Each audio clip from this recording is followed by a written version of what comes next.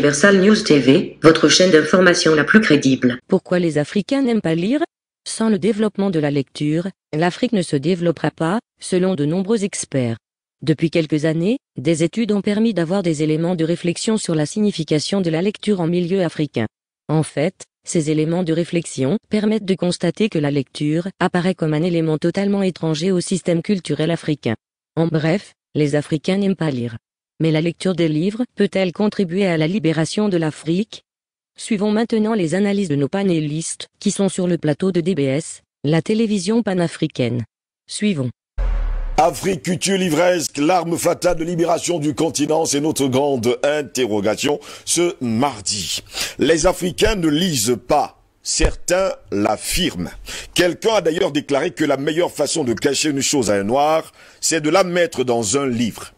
Les plus frileux aux stigmatisations s'en sont naturellement offusqués. Les Africains et les Noirs en général n'aiment-ils vraiment pas lire? Cliché ou réalité? Nous nous interrogeons. Bon nombre de phénomènes humains peuvent s'analyser sous l'angle anthropologique pour mieux en comprendre les tenants et surtout les aboutissants. En effet, les origines historiques et culturelles des peuples permettent en général de trouver des explications plausibles aux réalités actuelles. Déjà, est-ce fondé? Est-ce qu'on peut raisonnablement statuer de ce que les Africains n'aiment pas lire? A-t-on des indicateurs factuels, statistiques et empiriques pour valider une telle assertion sans verser dans la stéréotypie et même l'essentialisme? Chacun des lecteurs de ces lignes, ou alors ceux qui vont nous écouter ce matin, pour ceux qui d'ailleurs y arriveront, peut déjà répondre à cette interrogation sous le prisme de sa réalité personnelle, mais aussi de celle de son entourage. Plutôt que d'avoir la prétention d'apporter des réponses à ce questionnement, choisissons de le prolonger. Combien d'heures en moyenne les Africains se consacrent-ils à la lecture? Allez voir. Combien d'ouvrages chacun des lecteurs du présent article lisent par mois et par an? Combien sont actuellement en train de lire un livre? Combien fréquentent régulièrement une bibliothèque ou une librairie? Combien achètent des journaux chaque semaine? Combien prennent la peine de lire les articles et autres documents sur Internet en lieu et place des vidéos gags, des anecdotes stupides et des ragots des égouts? À quand remonte la dernière lecture d'ouvrage de chacun d'entre nous Tout cela ne sont que des interrogations. Comment expliquer l'absence ou la rareté des bibliothèques en Afrique Et quand elles existent, malgré la pauvreté des rayons, comment expliquer qu'elles soient autant désertées au profit des bars et des lieux de loisirs où l'on dépense chaque jour l'équivalent de plusieurs livres et surtout de plusieurs journaux et quotidiens? Comment expliquer au-delà des prétendues contraintes financières que la presse africaine ait autant de mal à exister, faute de lecteurs pourquoi y a-t-il si peu d'auteurs africains et quand ils sont d'origine africaine, combien sont auteurs d'œuvres au contenu réellement africaine et non calqués sur des réalités, visions et intérêts occidentaux? Mesdames, Messieurs, nous nous interrogeons. Dans les faits, on peut affirmer que la lecture n'est pas le passe-temps favori des Africains dans le sens de la majorité.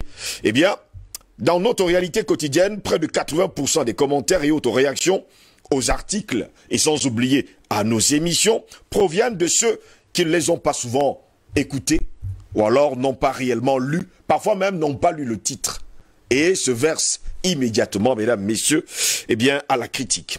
Facile à détecter par la nature des commentaires, certains auteurs des commentaires, d'ailleurs les plus longs et les plus radicaux, dans le sens contestataire, finissent par nous avouer qu'ils se sont contentés de lire tout simplement le titre sans absolument rien avoir compris. Allez savoir. L'histoire conventionnelle nous apprend que les premières traces d'écriture datent d'environ 6000 ans et trouvent leur source en Mésopotamie, région actuelle de l'Irak, et en Égypte antique noire. Or, si l'Afrique est citée comme l'une des premières sources d'écriture, il va sans dire que la culture de la lecture y tire également ses origines. Si on écrit eh bien, mesdames, messieurs, c'est bien pour qu'on lise. Parmi les thèses qui attestent que les Africains ne lisent pas assez, certaines indiquent que l'origine serait la tradition orale, ce qui n'est que partiellement vrai, car celle-ci était essentiellement utilisé, eh bien comme ça, on va le dire, pour des histoires contées le soir autour d'un grand feu. La source de toutes les sciences et connaissances étant africaine, il est inconcevable que la lecture n'ait pas fait partie de la civilisation originelle de l'Afrique. Les facteurs explicatifs, eh bien, du peu d'intérêt des Africains pour la lecture résident donc nécessairement ailleurs. Sans vouloir épuiser la question, vu que notre préoccupation est ailleurs, dans le cadre des présentes lignes, il apparaît plausible d'identifier l'une des principales origines à cette carence dans les périodes de l'esclavage à partir du XVe siècle et de la colonisation entre le XIXe et le XXe siècle dans la mission primordiale des envahisseurs, euh, il faut le dire, de déposséder culturellement et spirituellement les Africains afin de les couper radicalement de leurs références ancestrales et civilisationnelles. Ceci, ceci pour installer dans les cerveaux des Africains le logiciel de la domination de la pensée coloniale, il était impératif de nous priver de toute source de connaissances, donc de lecture. Les colonisateurs étaient conscients de la puissance libératrice de l'arme que constitue la connaissance au travers de la lecture. Oui, vous qui êtes à la maison, il faut lire. C'est ainsi d'ailleurs que les premiers missionnaires catholiques de cette double période déconseillaient vivement que le prêtre seul, en fait, il faut le dire comme ça, aux convertis forcés africains de lire leur Bible, arguant que le prêtre seul était doté de l'onction divine nécessaire pour comprendre le message divin. Apparemment, ça se fait encore aujourd'hui. Car combien lisent même d'ailleurs cette Bible? Allez savoir, c'est toujours une interrogation. L'idée a fait son bonhomme de chemin jusqu'à nos jours au point où la lecture est devenue un fardeau. Oui, un fardeau. Eh bien, un fardeau pour les Africains. Même nos systèmes éducatifs fortement colonisés sont conçus pour empêcher de réfléchir, pour empêcher de lire. Ils forment des diplômés façonnés pour obéir, d'où l'insistance de bon nombre d'enseignants africains à obtenir dans les copies de leurs élèves et étudiants la restitution in extenso de leurs cours, faisant de nos diplômés des perroquets dociles formatés à l'exécution et non à la conception. Voilà pourquoi nous nous disons, eh bien, quelle belle chose que la lecture. Est-ce que les Africains ne lisent pas Nous nous interrogeons. Qu'est-ce qui les empêche d'ailleurs de lire Albert Anatola ici? Oui, je pense qu'il faut d'abord relativiser Oui. euh, notre propos de ce matin. C'est pas tout à fait vrai que les Africains ne lisent pas.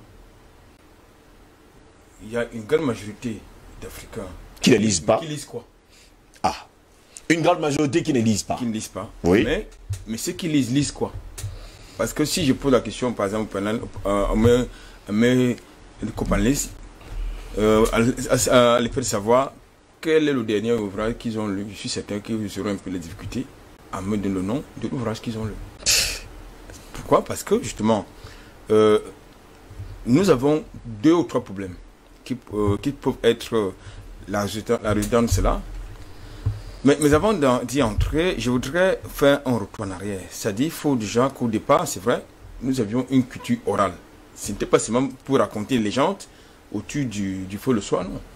C'est-à-dire, nous avions une culture orale parce que lorsque, moi je me rappelle, lorsque ma, grand-mère euh, voulait nous raconter des histoires, ou bien qu'elle voulait demander quel était son âge, elle vous montrait le nombre de pierres qu'elle a mises dans, une jarre. C'est quand vous partez là, c'est vous que vous avez de son âge? Je crois que c'était aussi peut-être une forme d'écriture que vous pouvez permettre de lire. Là, c'était adapté dans le contexte, dans ce contexte où nous étions dans, pratiquement dans ce que je pourrais appeler dans le monde indigène. Mais après, il y a eu justement euh, cette rencontre avec les marchands, les missionnaires et les autres. Et justement, le premier livre, à mon sens, qui est introduit de manière officielle sur le, continent africain, naturellement, c'est la Bible. Vous l'avez indiqué d'ailleurs dans votre euh, chapeau, que dans un temps, dans un passé pas très très lointain, il était formellement interdit aux chrétiens de lire la Bible. Parce que c'était l'apanage des seuls illuminés qui étaient qui portaient en soutane. Il paraît qu'à cette époque, on leur disait que si vous lisez la Bible, ça va vous rendre fou. Ça, c'était ce qu'on leur disait. Maintenant, mais en même temps, il faut également rentrer dans ce que je pourrais appeler notre ali- l'aliénation culturelle, qui est justement le fait de l'arrivée de ces missionnaires qui nous ont amené à comprendre que tout, tous les, les- euh, notre histoire imagée qu'on avait, parce qu'il y en avait qui avaient des histoires imagées, soit écrites dans un arbre, soit euh, euh, euh, quelque part dans, une sorte de, bibliothèque ancestrale, eh bien, ces missionnaires venaient dégager tout ça et remplacer tout cela avec la Bible. Parce que j'estimais que c'était des trucs sataniques, démoniaques et consorts. Quand j'ai dit cela, maintenant je reviens donc sur la question même de la politique du livre, parce qu'il s'agit de ça. Parce que pour écrire un livre, ça devrait, c'est l'État qui devrait, à mon sens, impulser, c'est-à-dire les dynamiques d'écriture. Parce que pour écrire, il faut, un livre d'abord qui ait des écrits. Est-ce qu'il existe justement dans le, sur le continent africain cette dynamique qui amène, qui devrait amener, porter le gouvernement à financer les auteurs potentiels Parce que nous avons beaucoup de personnes africains qui ont des manuscrits qui se dorment depuis des, des, des dans les faute, faute de, n'est-ce pas, de financement. Alors, ils vont écrire quoi pour être imprimé et édité où? Ça, c'est la grande question déjà, parce qu'il faut commencer par là. Parce que, nous l'oublions pas, la lecture, c'est la nourriture de l'esprit, nous avons l'habitude de le dire. Mais tout à l'heure, je demandais, quand il faut lire, qu'est-ce qu'il faut lire? Parce que très souvent, il y en a qui préfèrent lire euh, des ouvrages qui n'ont rien à voir avec l'appropriation soit de l'histoire, soit des connaissances.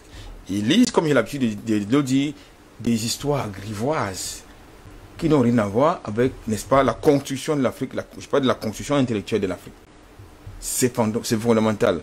La plupart des auteurs, malheureusement, que nous, que nous lisons très souvent, sont des auteurs étrangers qui parlent des problèmes de l'Afrique étant éloignés de l'Afrique. Je suis en train de lire en ce moment la, la, colonisation racontée à ma fille de Christiane Tobira, qui est une, une, une afro-descendante. Descendante, oui. Qui parle de l'Afrique, mais éloigne de l'Afrique. Est-ce que vous êtes, est-ce que je sais que ce qu'elle dit dans, ce, dans cet ouvrage, ça reflète exactement l'histoire de l'Afrique, la colonisation telle que vécue par les Africains qui sont, nous qui sommes sur le continent africain? Et très, il y en a qui, la plupart des auteurs également, euh, qui sont très souvent des journalistes, qui sont reconvertis en écrivant parle de l'Afrique et loin des, des, n'est-ce pas, des artistes africaines. Je ne voudrais pas dire que nous n'avons pas connu, n'est-ce pas, des auteurs africains. Vous, avez Cheikh Antal Job, euh, Ousmane, entre autres. Euh, vous avez... Euh, euh, Cheikh Kamidou Vous avez... Euh, Birago Diop, David Diop. Dans le contexte camerounais, oui. il y en a qu'on connaît. Mais pourquoi, pourquoi est-ce que leurs ouvrages, pour la plupart, ne sont pas connus? Parce que ça ne rentre pas... c'est pas... C'est pas, c'est pas vulgarisé, voilà la vulgarisation de ces ouvrages pose problème au niveau même euh, euh, au niveau de la politique euh, du gouvernement en la matière. Donc je pense que aujourd'hui, les oui, mais qu'est-ce qu'il faut lire Parce que c'est aussi une question, fondamentale. Moi je pense que comme nous sommes dans un combat, il est important de lire des ouvrages qui parlent, n'est-ce pas, de l'Afrique. Peut-être pas seulement de, des autres. C'est important de savoir ce qui se passe chez les autres, mais davantage, c'est davantage très important de lire notre histoire. Une histoire qui doit être écrite par nos fils, par nos filles. Lorsque je lis certains auteurs qui sont un peu, un peu assimilés, qui ont gagné l'autre côté là, et qui nous ont tendance justement à nous ramener, à nous raconter des histoires vécues là où ils sont, je, pense, je ne pense pas que ça puisse être aider notre jeunesse à comprendre d'où elle vient, où elle vit, où elle va. Ça, c'est fondamental également. Donc, je pense qu'aujourd'hui, pourquoi est-ce qu'on a. Et ça, et ça peut s'expliquer par le fait que nous avons, dans le système éducatif d'une manière générale africain, c'est encore entre les mains d'un colon. C'est-à-dire qui décide ce que vous devez lire, qui décide ce qui doit être édité. édité. N'oubliez pas que très souvent, certains, des auteurs, certains auteurs africains ont été censurés. Parce que justement, ils posaient des Parfois, certains d'ailleurs, ne retrouvent pas leurs livres. Hein. Oh, carrément, ça dit que dès que ça parlait, euh, on, achète tout, toute la collection, on détruit. On détruit. donc, je pense que c'est une question qui, à mon sens, interpelle d'abord des intellectuels, des universitaires davantage, des universitaires, mmh. et ensuite des politiciens. Et à la fin, les gouvernements, parce que ce sont parce que le gouvernement est là pour réguler. Mais en même temps, et c'est fondamental parce que écrire, c'est une chose, mais éditer, et ça coûte très cher. Parce que si vous voulez, par exemple, écrire sur. Les Africains commencent à éditer d'ailleurs, à oui, ah, ici. On ne va pas également l'oublier. Non, je n'ai pas dit le contraire. Mais j'ai dit, ça coûte cher. Parce que si vous devez écrire un ouvrage, je prends le cas de Dr Edimo qui a de Mongolie qui a d'écrire, qui a, qui a deux ouvrages sur ceci, sur l'économie en Afrique, euh, au Cameroun. Cameroun. Ça coûte cher parce que là il a été confronté, il est confronté à certaines difficultés. Mais parce que c'est ce que les gens ne savent pas, c'est que ça fait plus de 10 ans qu'il est sur ces ouvrages-là.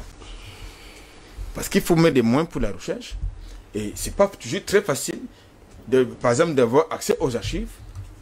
Quand ça existe, c'est pas très facile d'avoir accès aux sources d'informations. Je parle des, mémoires vivantes, de, l'histoire économique, culturelle, sociale, politique du continent. C'est pas souvent très facile. Donc, je pense que là également, le gouvernement, et là également le gouvernement est interpellé. Les gouvernements africains, pour la plupart, sont interpellés parce que il y avait Lorsqu'on parle de culture, on parle de, la lecture, on parle d'une manière globale, on parle de, euh, on parle de la culture, j'allais dire.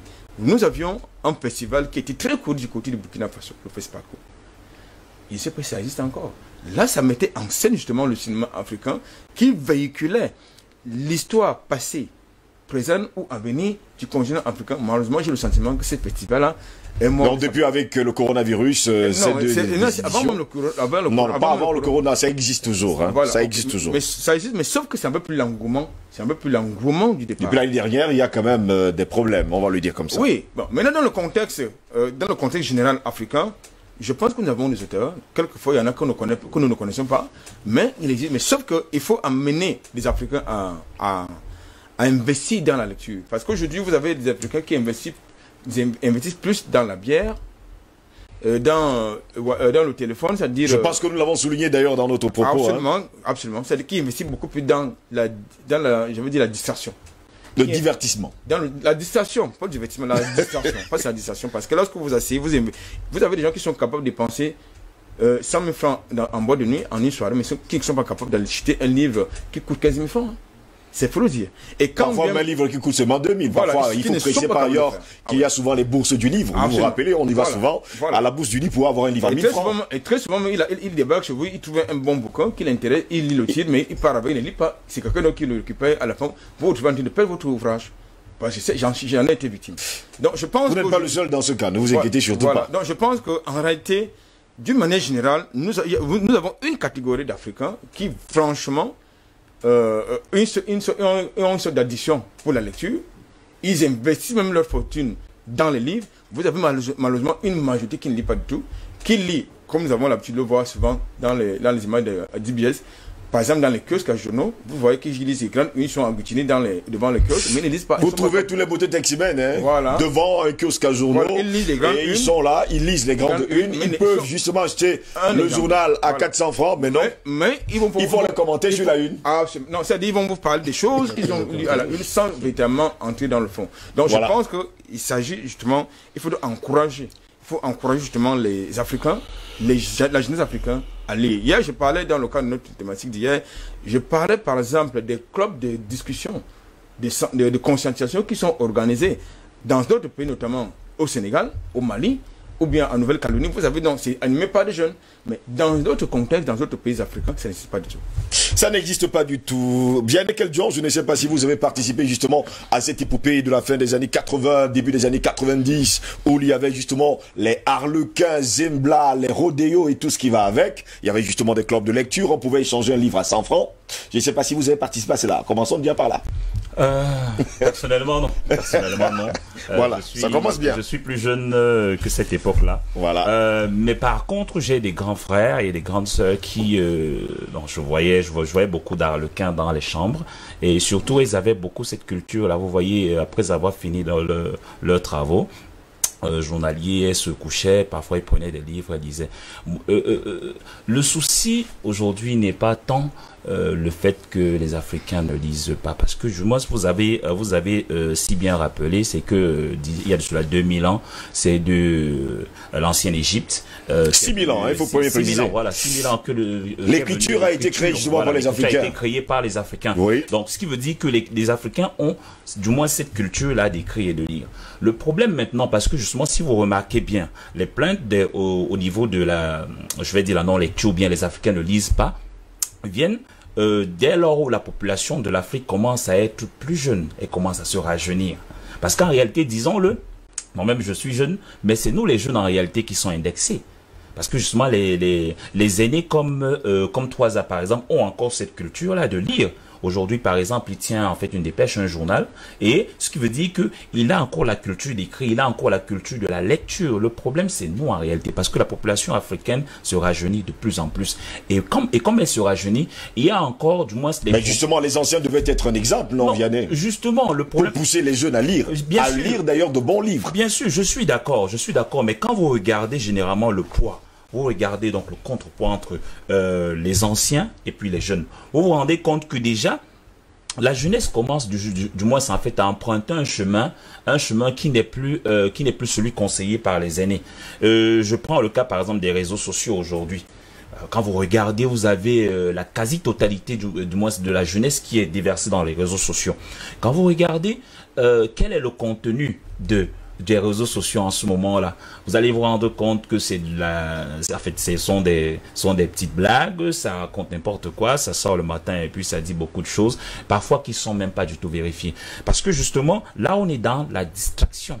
On est dans juste, on est, on est dans le jeu. Et surtout parce que on a une certaine culture. Euh, justement, je parlais de la jeunesse. La jeunesse qui est sortie, euh, qui est du moins en fait, qui a commencé, la population africaine qui a commencé à être plus jeune, a commencé à lorgner un peu un certain nombre de, en fait, une certaine vie, euh, je peux dire occidentale, parce que les occidentaux nous ont un peu lorgné, donc, enfin, nous ont miroité, c'est le terme, nous ont miroité une certaine vie qui est assez simple. Ça, ce qui veut dire que voilà, vous avez de ces jeunes, je vais dire, vous avez par exemple donc des musiciens qui se lèvent, qui qui ne sont jamais allés à l'école, qui vous disent en fait, qui n'ont pas qui n'ont peut-être pas lu, qui n'ont pas euh, euh, lu 10 euh, à 100 000 livres, mais par contre qui sont assez riches. Donc, vous voyez, la jeunesse commence donc un peu à penser, à s'imaginer un peu être riche, donc se dit, bon, ok, écoutez. La lecture ne sert absolument rien. absolument la seule chose qu'il faut aujourd'hui, c'est avoir l'argent. Bien sûr, parce que justement, ils se disent, dès que, dès que j'ai l'argent, je vais recruter en fait ceux qui ont les doctorats.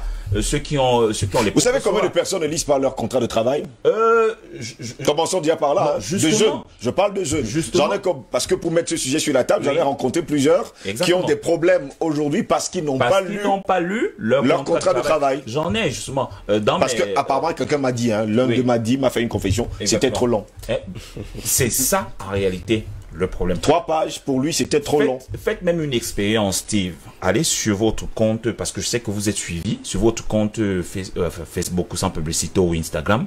Faites un texte qui est assez consistant, mais qui est long. Les commentaires en bas, beaucoup vous diront en réalité que c'est trop long. Mmh. Je ne lis, c'est trop long.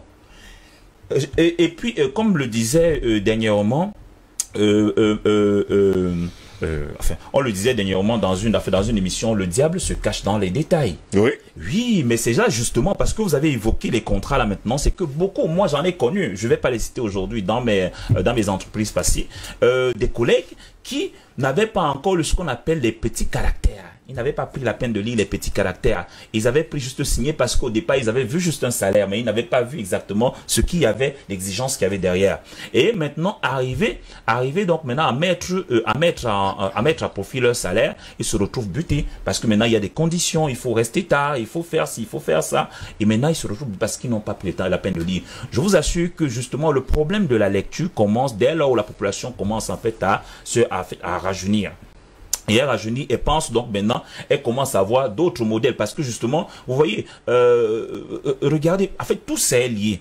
Les jeunes ne se rapprochent plus des aînés. Pourquoi? Parce que les jeunes ne vont plus vers leur culture. À l'époque, moi je, moi, moi, je le disais encore euh, sur ce plateau, c'est que euh, moi, mon village, je le connais.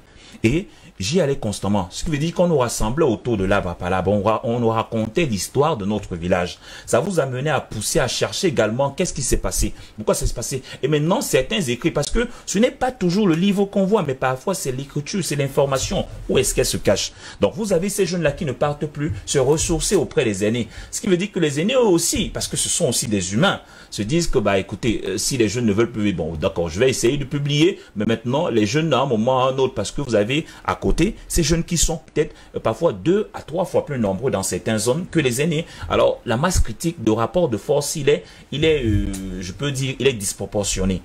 Euh, ce qui fait que maintenant, vous avez ces jeunes-là qui commencent à s'orienter vers d'autres cultures. Et la culture, en fait, qui est parfois très perverse. Euh, ce qui fait que maintenant, on commence plus à se dire, euh, écoutez, bon voilà, quand vous avez des groupes, euh, vous avez un, bon, je vais le citer, je vais le citer, hein, un, par exemple comme Kerel Kongosa, vraiment, euh, excusez-moi, excusez-moi, mais vous avez du matin au soir, ce sont des ragots, on n'en peut finir, ce sont des médisances, ce sont des choses qui sont juste dites comme ça pour amuser la galerie. Mais vous allez trouver que ce sont ces groupes-là où vous avez le plus de nombre d'abonnés plus nombre d'abonnés par rapport peut-être à un groupe comme peut-être DBS Matin, par rapport peut-être en fait à un groupe comme je ne sais pas, euh, comme peut-être euh, euh, peut-être peut-être peut-être une dépêche matinale. Vous avez ces jeunes-là qui s'agglutinent de l'autre côté parce que pour eux ils se disent que bon ok quand je reste là et puis je ris, bah, de toutes les façons un rappeur a fait le rappeur X le je ne sais pas quoi Y n'a pas. Non, on s'accroche sur les vêtements que de faire justement ce qui est juste. Ce qui est juste. Donc le problème maintenant lorsque dès lors où, dès lors euh, euh, euh, dès lors on, l'a dit, maintenant il faut qu'on revienne aussi. Parce que moi, comme je vous ai dit, c'est que je reviendrai toujours à non parce que les autres en fait ont conçu leur système, ils savent comment le manager. Aujourd'hui, les réseaux sociaux, quand vous regardez la majeure partie sont des sont des éléments occidentaux. Parce qu'ils sont en train de passer de à la dématérialisation système. On va aller plus loin d'ailleurs, Vianney Keljon. Il y a pas mal de nos téléspectateurs sur Facebook qui nous envoient d'ailleurs des livres qu'ils ont écrits. Mais vous également, vous qui êtes à la maison, vous pouvez nous écrire. Vous connaissez d'ailleurs la file, le numéro du téléphone qui s'affiche au bas de votre écran. Vous allez nous envoyer les trois derniers livres que vous avez lus. On va faire un défi. Vous allez voir ce qui va se passer dans un instant. Les trois derniers livres que vous avez lus, vous allez les écrire au numéro de téléphone qui s'affiche au bas de votre écran. Et ne vous inquiétez surtout pas. On veut savoir ce que vous lisez. En tout cas, pour l'instant, sur le, bon, sur Facebook, Tapis, Papis Tiné dit que la chef de Monsieur Séguin Hmm. il sourit en me disant ça. Si vous connaissez l'agent de M. Séguin, Papistine qui revient avec Mustang, Graham, Zagor, allez savoir. Bon, ça vous n'avez pas connu. Ça, il faut le savoir. Euh, justement, euh, Mustang, Mustang, c'était juste l'époque juste avant, avant ma naissance, juste un peu. Mais maintenant, je, je voulais terminer. Je voulais terminer en disant que là, on est en train de se diriger de plus en plus vers la dématérialisation, ce qui veut dire que les livres physiques commencent à mourir. Il faudrait que nous, les Africains, nous prenions conscience de ce que maintenant, les livres physiques oui, bien sûr, on, on fait partie de ce qu'on appelle en fait des musées, des musées à peu près, mais euh, on saura que ça existait. Mais il faut que nous entrions de plein pied dans la dématérialisation, parce qu'aujourd'hui, le grand fait 3 a disait, euh, c'est que un jeune est capable de mettre 1000 euh, mégas, 1000 mégas, a fait 1000 mégas dans son téléphone, peut-être utiliser un crédit de 500 par jour, acheter peut-être une bière, mais quand vous lui dites un peu d'acheter un livre de 100 francs, il vous dit, je n'achète pas. Alors il faut... Je vous rappelle quand même que les livres coûtent moins cher. Justement. faut arrêter de penser toujours que les livres coûtent très cher. justement. Je prends un témoin, trois âmes, nous sommes partis à la foire du livre et j'ai acheté un livre à 1000 francs. Oui. Un livre qui date euh, du 14e siècle. Steve, c'est là, c'est vers là où je vais. C'est vers là où je vais. Hein? Justement, je suis en train de dire que lorsque vous faites le, lorsque vous faites le ratio entre un livre acheté ou entre donc des bouts de livres lus sur les réseaux sociaux, vous allez vous rendre compte que les mégaoctets, parce que, du moins, euh, techniquement, vous dépensez ce qu'on appelle en fait une unité, une unité qui s'appelle donc à faire l'octet. À chaque, donc à chaque, à chaque élément que vous téléchargez, vous dépensez l'octet. Et l'octet, vous êtes facturé, vous êtes facturé par l'opérateur. Quand vous faites donc le ratio, vous vous rendez compte qu'en réalité, par rapport à un livre physique, vous avez dépensé plus que normal, plus que euh, plus que ce que vous euh, ce que vous devez ce que vous devez dépenser enfin plus que ce que vous avez, ce que vous devez dépenser en livre physique. Par rapport à un livre physique, vous avez dépensé donc plus que euh, ce que vous dépensez donc en livre numérique. Il est donc de bon ton aujourd'hui. Moi ce que je dis, ce que moi j'encouragerais parce que moi je ne suis pas un auteur, mais par contre je lis aussi à mon niveau des livres de des livres par exemple plus techniques de mon domaine et aussi un peu un peu de livres politiques aussi. Mais il, serait de bon ton que les Africains, du moins, que euh, des politiques soient mises en place pour que là maintenant qu'il y ait euh, une migration, donc des livres physiques vers les livres numériques, pour que maintenant les jeunes qui sont plus dans le numérique s'y intéressent, parce que, croyez-moi, Internet commence à prendre de l'ampleur. Vous avez une pénétration des smartphones qui commence à friser les 75% aujourd'hui. Et chaque smartphone qui commence à, qui, commence, qui, qui tombe sur une a besoin d'une connexion. Qui a besoin d'une connexion a besoin d'un contenu. Et si nous laissons les autres investir à peu près euh, le secteur, ce secteur-là, nous allons les laisser traverser. Et là, en ce moment-là, maintenant, nous, n'aurons que nos yeux pour pleurer parce que notre jeunesse sera perdue. Si je vous posais une question, Cole, votre dernier livre, c'était lequel? Euh, Je vous dirais exactement que je ne m'en souviens pas. que Fabrice, je vais me tourner vers vous. Il y a des gens, et d'ailleurs une célèbre phrase qui déclare que si vous voulez cacher quelque chose, un secret d'ailleurs, à un nègre, à un africain, vous n'avez qu'à le cacher dans un livre. Apparemment, cela, il faut le dire, se voit clairement aujourd'hui. Oui, euh, cela se voit très bien, Steve. Et l'Occident a si bien joué son rôle qu'il nous a empêché de lire. ils nous ont beaucoup plus encouragés dans la divagation intellectuelle, la recherche. Vous savez, euh, vous venez même de le dire tout à l'heure, la lecture nourrit l'esprit. Oui. La lecture est un aliment de l'esprit. Et de la lecture jaillit la sagesse. Et de la sagesse, il jaillit, euh, on a l'information. Parce que ici, je, re- je ressors de mes copanélistes deux thématiques. On a le- la thématique sur la lecture et on a sur l'information. Oui. Réellement, les Africains, ou alors les jeunes, les Africains en général, ne lisent pas. La faute à qui? Qu'est-ce qu'il faut lire? Comment lire? Parce que de- au- au-delà de lire, de dire il faut lire, il faut lire, il faut d'abord avoir la capacité même de lire. Il faut savoir quoi lire.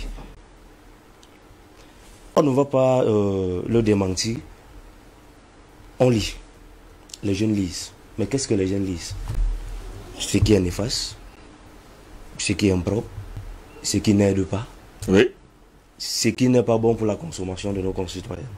Nous sommes beaucoup plus. Si vous postez quelque chose, qu'il soit long n'importe comment, et qu'il révèle dans des choses futiles et inutiles, je vous assure, tout le monde va lire jusqu'au bout. Mais si c'est quelque chose de plus important, de nourrissant, on vous dira tout simplement qu'il est trop long. Qu'est-ce qu'il faut lire? Il faut donc aller là. Donc là, en ce moment-là, on a sur le continent africain des personnes qui ne sont pas à la recherche de la connaissance, Exactement. mais plutôt à la distraction, la recherche de la distraction. Exactement, c'est ce que je suis en train de dire. Euh, les Africains ne lisent pas pour comprendre, mais ils lisent juste pour se distraire. Et qu'est-ce qu'il faut lire? Il faut vraiment aller fouiller. Et nos aînés aussi ne nous ont pas aidés à ce niveau. Oui. Ils ne nous aident pas. Vous savez, lorsqu'on a des gérontocraties telles que les nôtres euh, et dans notre pays, qui sont là pour la conservation du pouvoir, qui ne travaillent pas pour développer, qui ne travaillent pas pour penser, parce que euh, un sage le disait, diriger, c'est prévenir. Et on ne peut pas diriger du jour au lendemain sans, Prévoir. sans prévoir. Oui. Aujourd'hui, ils sont là pour conserver uniquement leur pouvoir. Et ils ont mis tout en œuvre que dès qu'ils partent, c'est leurs enfants qui continuent. Et c'est un système occidental qui demeure et qui reste là. Cependant, les Africains ne lisent pas. Vous avez parlé tout à l'heure de la Bible. La Bible est brandie de tous. Tout le monde, si vous allez même aujourd'hui dans les marchés, vous verrez les gens se balader avec les Bibles, en train de crier matin, midi, soir. À Mais chaque que- chevet à du chaque lit, hein. chevet du lit. Vous allez avoir une Bible, mais personne ne la lit. mais vous êtes surpris que chaque jour, les églises se multiplient. Tous courent pour euh, rechercher un seul Dieu. oui. On recherche donc quoi? Si on a un même Dieu et qu'on lit, ça veut dire qu'on a la, euh, le- le- la compétence de lire et de comprendre ce qu'on lit. Pourquoi Des divisions? Euh, L'Occident a donc profité de ça pour essayer de distraire. Maintenant, l'information de l'autre côté. Mhm. Quel est le canal? Quel est le code? Quelle est l'information qu'on retire dans ce qu'on lit? Là encore, l'Occident nous a beaucoup berné. C'est pour cela que lorsque vous essayez de, de voir dans certains médias, Mhm. On a des médias sociaux, on a euh, nos médias conventionnels. Et lorsqu'on est dans des thématiques ou lorsqu'on a des propos tels que ce que nous sommes en train de débattre, les gens ne sont pas intéressés. Vous verrez beaucoup de jeunes aujourd'hui sont beaucoup plus intéressés sur des, chaînes euh, novelas et autres. Quelle est l'information qui ressort de là? Quelle est la leçon que la jeunesse peut en tirer aujourd'hui?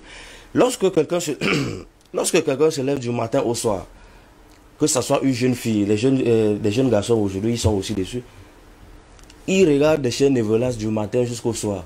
Ils en tirent quoi Comment euh, en Occident, on vous montre comment dans leur culture, euh, un jeune peut sortir avec la mère, un jeune peut sortir avec la fille, un jeune peut sortir avec la cousine, euh, deux hommes peuvent euh, marcher, euh, Sortir ensemble. sortir Sortir ensemble, ensemble. deux femmes peuvent faire des...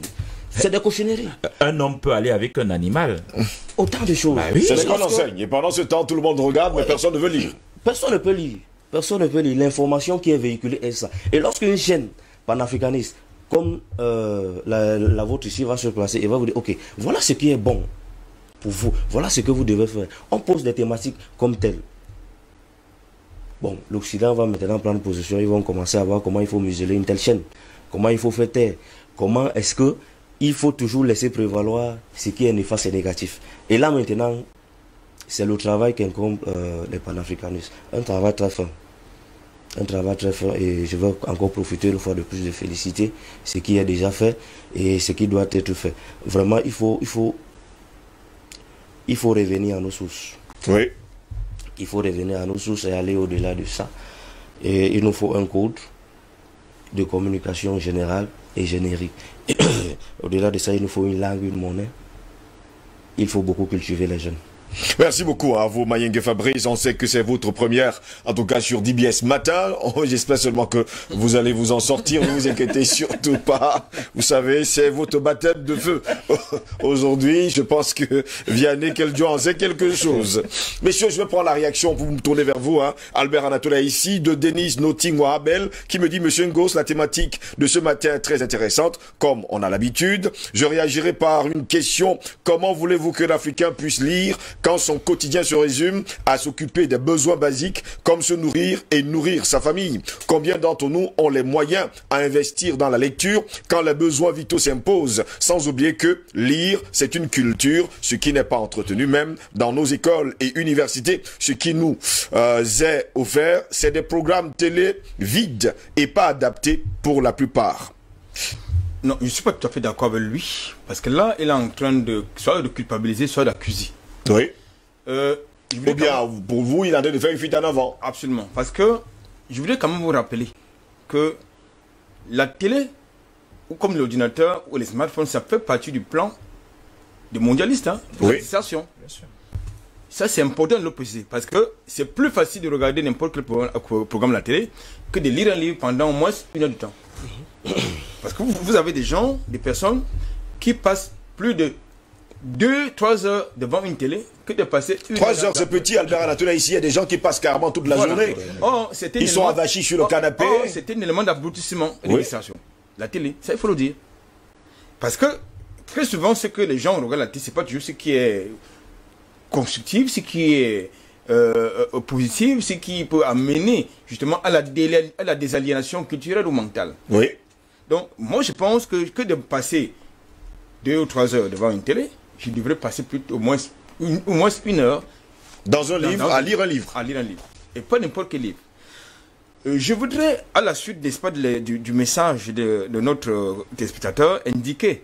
Tout à l'heure, je disais que le gouvernement est en partie responsable parce que c'est le, le gouvernement qui élabore les politiques. Et de ce point de vue, nous allons, je veux ici convoquer l'absence, par exemple, des bibliothèques. En notre époque, je ne voudrais pas être nostalgique, il y avait des bibliothèques.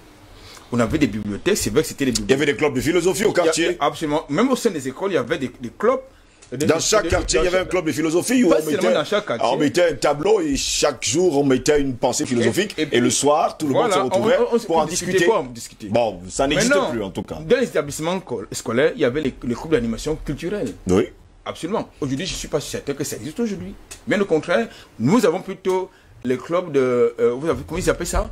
Euh, les, de les- euh, de euh, Non, pas ça. Il ne s'agit pas de ça. Il s'agit- euh, C'est des. des euh, médias. Les médiathèques, c'est-à-dire, apprendre aux élèves à étudier. Club journal. Non, non, c'est pas club journal. Parce que le club journal, c'était autre chose. Oui. Ça, ça tenait, le club journal, ça, tenait, ça rendait compte, ça préparait les futurs journalistes qui voulaient, qui avaient la Je vocation rappelle d'être quand même que j'ai été directeur de- Voilà. d'un club journal. hein. Voilà, ça, qui, Président ça- du club journal. ça. À partir de là, on avait la vocation d'être des journalistes Oui, ou, ou pas. un communicateur. Oui. Donc ça nous préparait à ça. Donc vous aviez également d'autres clubs d'animation qui préparaient, des, en tout cas, qui, Des animations qui- culturelles. Voilà, c'est-à-dire ça, amenait- ça prédisposait. À partir de là, on identifiait des talents qui, qui pouvaient devenir. Club de vous- danse, Comme vous êtes euh, devenu, vous, par exemple, mon journaliste, moi j'étais dans un club du CEJA, Ouais. à- à- au lycée éthique, pour- euh, sans publicité. Vous aviez des clubs de musique. C'est-à-dire ça, ça, euh, ceux qui avaient la vocation de devenir musicien ou bien instrumentaliste, ça, partait de là. ça part de là. Aujourd'hui, tout cela a été déstructuré au sein de l'établissement. Ça, il faut le dire. Il faut donc que le gouvernement, déjà, la plupart des bibliothèques qui, a- qui existent, Oui. Ça, ça appartient au coderme. C'est-à-dire qu'ils veulent nous enligner avec leur culture. Je parle de centre culturel, machin. Je peux ne pas le citer ici. Donc, or, on devrait avoir dans le contexte camerounais de la décentralisation, on devrait avoir dans chaque commune une bibliothèque qui met en perspective justement les, ouvrages des auteurs africains.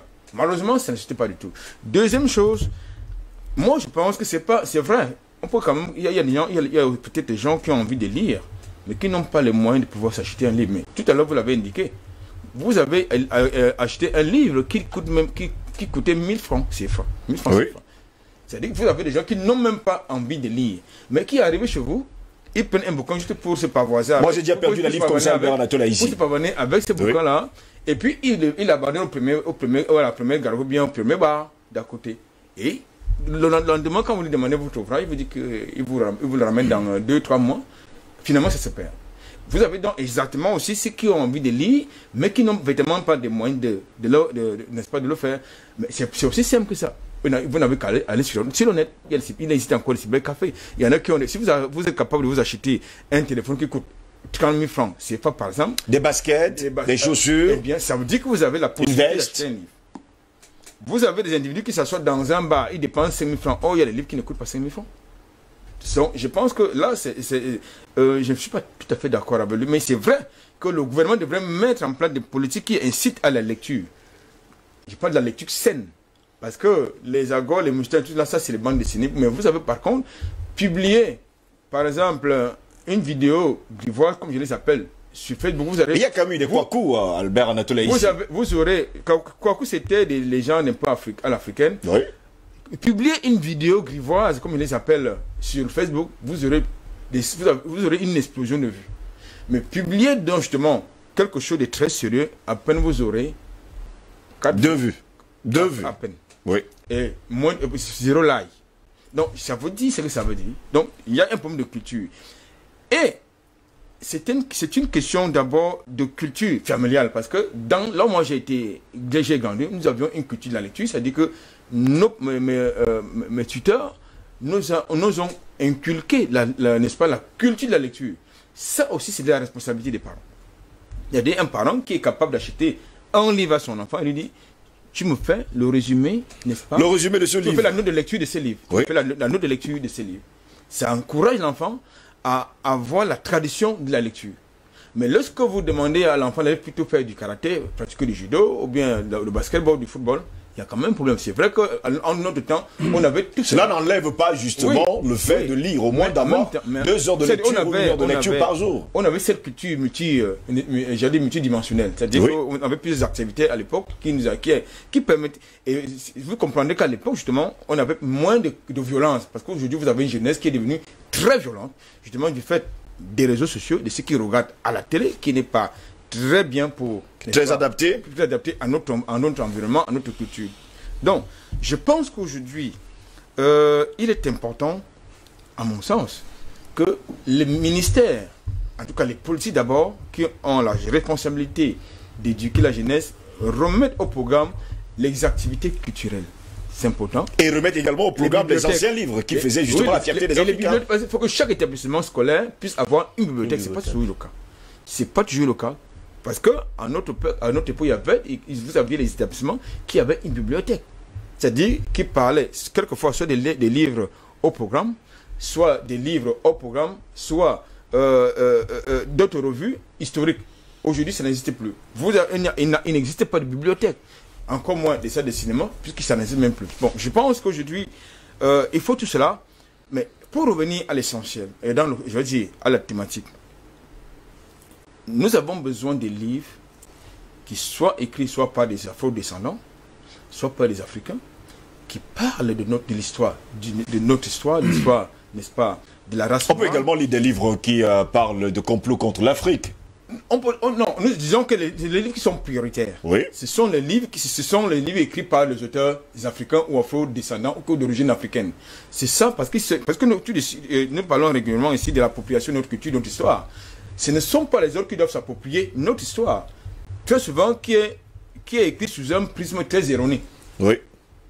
Parce que lorsque vous avez euh, des, des- des auteurs étrangers qui écrivent sur votre histoire, vous n'êtes pas certain que les éléments qui sont mis en, en relief sont, sont, euh, sont On a là d'ailleurs des beaux livres, hein. Cahiers de retour au pays natal de Aimé Absolument. Césaire. Absolument. Vous avez le paille noir, vous avez Ferdinand Cruelle, Isamoto, voilà, Cruelle. Le monde s'effondre de chinois à Québec. Voilà, Ville Cruelle, ça, Prix Nobel de la littérature. voilà, Ville Cruelle, ça parlait de, ça parlait de quoi? Ville Cruelle, ça parlait justement de, de, de la, de, de, de- de la fracture sociale. Tanga Nord Les- et Tanga les- Sud. Les, les inégalités sociales. Parce que c'est important. La forêt illuminée, l'enfant battu, tout ce qu'on peut. Donc je Bon, on va pense pas que- perdre nos... donc, moi, donc, moi, je pense que absolument on ne peut pas les perdre parce que ça les amène à faire des recherches. Oui. Parce que lorsque nous, nous posons une thématique sur la table, ça doit pouvoir pousser les uns les autres à faire des recherches. Et j'apprécie très souvent que lorsque je vais dans les cyber, je constate que très souvent, les thématiques que nous, sont, que nous sur la table font l'objet des recherches dans les cybercafés. Et c'est bien.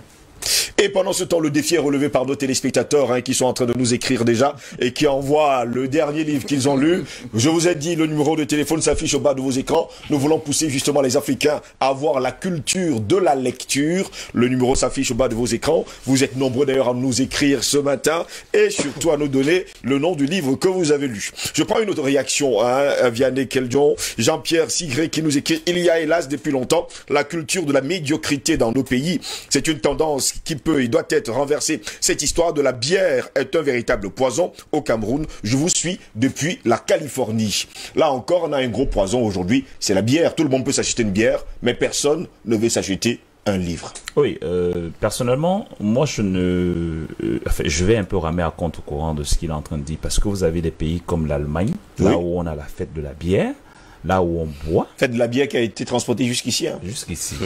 Bien voilà, faut pas oublier. Là où on boit, mais vous avez euh, ces gens, lorsqu'il faut travailler, parce que moi, je, connais, parce que je, j'en ai côtoyé pas mal, des Allemands, ils ont une science, mais alors une, une discipline qui ne dit pas son nom.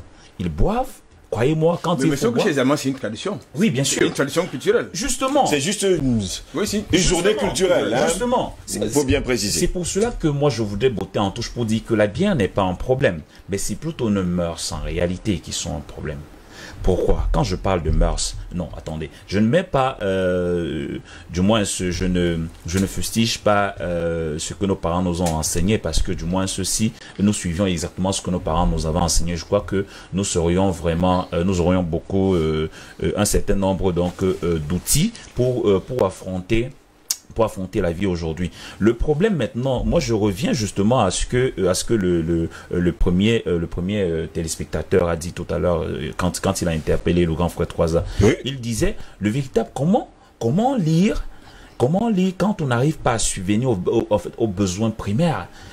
aux besoins basiques. Aux hein. besoins basiques. En réalité, c'est là où le bas baisse parce que croyez bien, moi, euh, si vous faites, si vous faites euh, le ratio sur 10 personnes par exemple, qui sont sur les réseaux sociaux, vous avez par exemple 7 à 8 qui ne sont, qui n'ont pas de travail, qui sont par exemple, qui sont au qui sont au chômage, qui parfois profitent de euh, d'un instant entre entre deux assiettes à laver et maintenant pour pour partir sur les réseaux sociaux pour essayer de se divertir. Ce que vous allez remarquer, est-ce qu'on se divertit justement sur les réseaux sociaux via lesquels bien Justement, justement. C'est que sur les réseaux sociaux, pour eux, c'est un outil de divertissement. Ces gens-là qui reviennent, en réalité, ça leur permet à peu près de fuir leur quotidien. Donc, ils se projettent dans une réalité qui n'est pas là, ce qui n'est pas la leur. Parce qu'ils se disent qu'en ce moment-ci, ça leur permet au moins, du moins l'instant, euh, euh, euh, l'instant peut-être d'un oubli ou quoi que ce soit, mais maintenant de pouvoir un peu oublier, de vivre un peu près une vie qui n'ont peut-être pas la possibilité de vivre en réel. Ce qui veut dire que vous avez beaucoup de personnes, quand vous regardez, c'est pour ça que vous voyez à peu près la prolifération des, ce qu'on appelle en fait des, des fakes, parce que les gens passent le temps à créer des éléments pour se rendre à peu près importants, parce que ils ont besoin d'être importants. Les gens qui créent euh, un nombre de fakes et tout et tout, ils ont besoin d'attirer l'attention sur eux. Et parce que justement, ils ont ce besoin de se sentir important pour la société. Et maintenant, on crée des fakes pour avoir de l'attention Croyez-moi. Croyez-moi, beaucoup, beaucoup créent des fakes. Bon, là, en ce moment, on a des cas sociaux finalement. Bien sûr. Justement parce que vous avez des problèmes basiques que ces gens-là n'arrivent pas à résoudre. Vous allez vous rendre compte, je vous ai pris le cas de l'Allemagne tout à l'heure, c'est que dès lors où ils ont fini de boire leur bière, attendez, ils reviennent parce que chacun sait que, bah, tiens, ah, attention, je dois aller peut-être m'occuper qui de mon, euh, qui de peut-être de mon entreprise qui fait dans les marmites, qui de mon entreprise qui fait dans les, euh, qui fait peut-être dans le bois, euh, peut-être dans, dans les, dans les NTIC. Parce que justement, après, vous avez cette aide-là qui leur vient de l'État, qui, qui les permet à peu près de subventionner, d'amortir un certain nombre de charges. Ce qui fait que dès lors où ils ont fini de boire, ils pensent directement à aller travailler. Ici, dès lors où on a fini de boire, il faut qu'on aille dormir, il faut qu'on aille faire le show sur les réseaux sociaux. Il faut qu'on revienne à peu près se dire, bon, ok, je suis le malin. Je suis le, en fait, son malin, comme on dit au quartier. Donc, moi, je dis, je souscris vraiment à la, euh, du moins ça fait à la thèse de, de- du téléspectateur qui disait à peu près que les problèmes, du moins ça fait des problèmes primaires ou bien euh, donc des simples problèmes, ne nous permettent pas d'aller au devant. Parce que souvenez-vous, on dit Mais c'est ce qui n'est pas quand même chez vous, Oui. hein, Vianney Oui, vous nous dites quand même que ces personnes sont capables de s'acheter une bière, Oui. mais sont incapables quand même de s'acheter un livre. Non, Ces personnes sont capables de s'acheter des mégas pour se retrouver Mhm. sur Facebook, mais sont incapables quand même de s'acheter un livre. Vous savez, euh, si vous allez, si vous allez dans un bar, C'est pas de leur trouver des raisons. Non, oui, je- je, suis d'accord que dans un bar, pas- vous pouvez rester toute Oui, une journée et vous n'allez pas sûrement payer une bière Allez- parce que d'autres vont la payer bien à sûr, votre place. allez dans un bar, allez dans un bar, écoutez les commentaires des gens. Les gens vous disent que à peu près j'ai trop de problèmes, M- mieux la bière me fait oublier. Et surtout, on a même euh, euh, certains, certains ont même sorti même un slogan, c'est que ouais, depuis les problèmes on a appris à nager. Parce que beaucoup avaient donc le, bien sûr, beaucoup avaient euh, l'habitude d'aller au niveau des bars pour noyer leurs soucis, comme ils disaient. Parce que justement, beaucoup estimaient que non, en buvant, peut-être là maintenant, ils pourront au moins se dormir parce que sans la bière, peut-être ils ne dormiront pas parce que les problèmes vont les assaillir et leur nuit va devenir un peu, plus- un peu plus ténébreuse.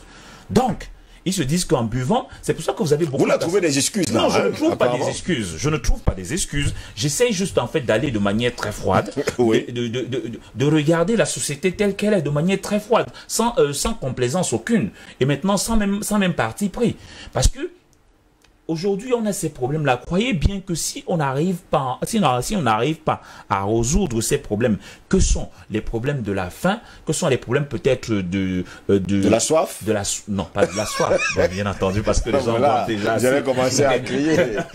Mais Parce si que on- apparemment le seul problème là maintenant c'est le problème de la soif. non, si on n'arrive pas à résoudre des problèmes comme le sous-emploi, peut- peut-être le manque d'emploi, l'accompagnement même qui est quasi inexistant dans nos pays, à peu Oui. près, on, on va laisser donc maintenant la porte ouverte à certains, à certains, euh, euh, à certaines diversions, à certains, euh, enfin une certaine dépravation même des mœurs, et qui est encouragé par cette, en fait, par cette dématérialisation là, justement, parce que vous avez donc ces réseaux sociaux maintenant qui encouragent cela, parce qu'on a laissé le libre champ à chacun de faire ce qu'il veut. Je vais vous prendre encore un exemple pour finir, par exemple. Vous avez en Chine, en Chine, vous avez un gouvernement. Je ne dis pas parce que sous, euh, je suis un des fervents défenseurs de la liberté d'expression. Ça, je le dis.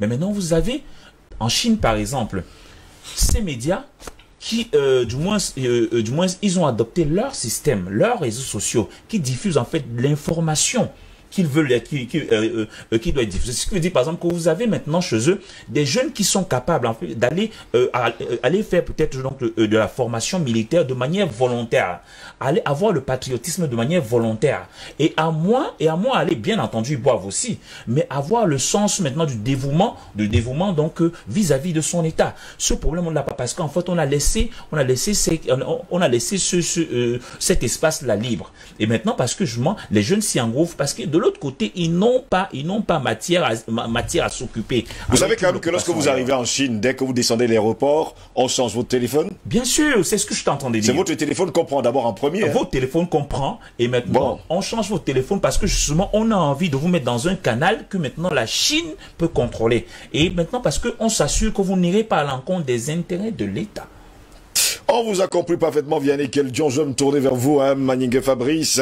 En tout cas, un autre de nos téléspectateurs nous écrit d'ailleurs sur Facebook ce matin. Je prends d'ailleurs les réactions. Je vais prendre également les réactions de nos téléspectateurs qui vont nous écrire sous euh, justement le numéro de téléphone qui s'affiche au bas de l'écran. N'oubliez surtout pas, j'aurai besoin de savoir quel est le livre que vous avez lu en dernier ces jours-ci. Pour lui, bien euh, comme là, il dit que c'est le problème des écoles africaines. On n'a plus de club ni d'activité culturelle. Important, nos gouvernements minimisent cet aspect de notre éducation.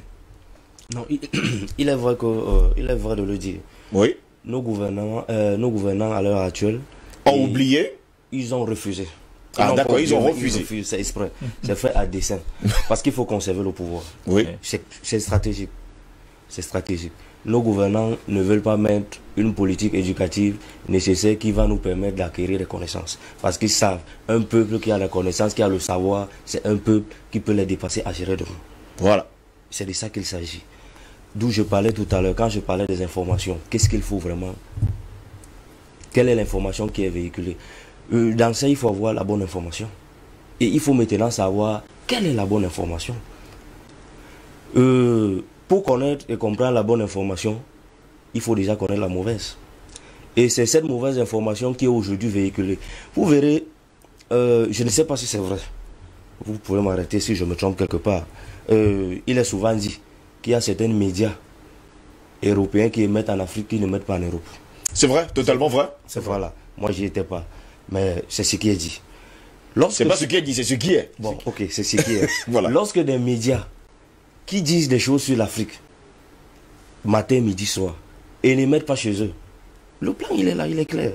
C'est ces mêmes médias-là qui ont permis à construire une mauvaise image, qui ont permis à construire une mauvaise information, selon laquelle, je prends peut-être le cas du leader euh, euh, Kadhafi, le leader libyen, Oui. qui a euh, cette mauvaise information qu'ils ont construit en disant que euh, Muammar Kadhafi est en train de tuer était ses, un- un- un ses dictateur. compatriotes, oui. Oui, c'était un dictateur, un mauvais président, ainsi. Alors que voilà un homme qui avait une pensée noble pour l'Afrique. Mais on l'a euh, complètement Ouais, Vincé. inversé avec cette mauvaise information. Aujourd'hui, les Libyens, les Africains sont en train de voir. Le même, euh, le, le même cas euh, s'est déroulé euh, en Côte d'Ivoire avec Laurent Gbagbo. Aujourd'hui, même sur notre scène camerounaise, on voit. Il y a des partis politiques ici qui ne vivent que du fake news. Qui ne vivent que de ça. Donc, ils n'ont aucun programme politique à proposer aux gens.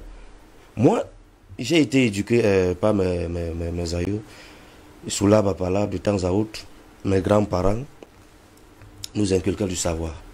Et mon grand-père me disait souvent, tu es un Camerounais, que tu sois à Ndom, que tu sois à Poudloloma, que tu sois à, à Makak, Manjab, à Fongo Tongo, n'importe où, Menganga, tu es Camerounais, tu es chez toi et tu dois vivre chez toi. Je pense que c'est des connaissances comme telles qui, sont mieux et qui devaient être véhiculées aujourd'hui. D'où la bonne information, d'où le bon livre. Qu'est-ce qu'il faut lire? Ce n'est pas lire des histoires qui amènent des Camerounais dans le, à se diviser. Comme certains vont vous dire non, le le communautarisme est mieux. Chacun va amener sa part d'idéologie qui vise à diviser. Vous avez le communautarisme, vous avez le tribalisme. Chacun vient avec sa part. Parce que un peuple veut se diviser, rester. alors, Plus vous vous divisez, plus l'assaillant vous envahit et moins plus vous êtes faible. Vous êtes sous la domination de l'autre. Nos médias aujourd'hui, qu'est-ce qu'ils font? Rien de bon. Ils sont là du matin au soir, dans la divagation intellectuelle. On ne propose rien aux jeunes. Les jeunes vont aujourd'hui à l'école, ils n'ont rien. La seule chose qu'ils ont su programmer et pour aboutir des jeunes, c'est l'alcool.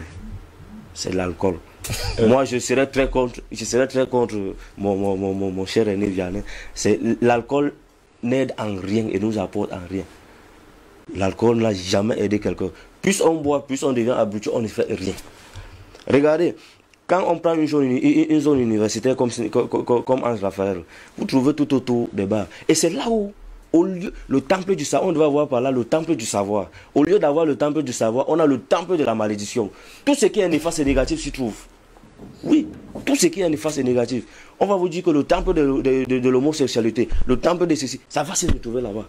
Et avec raison. Pourquoi? Parce que,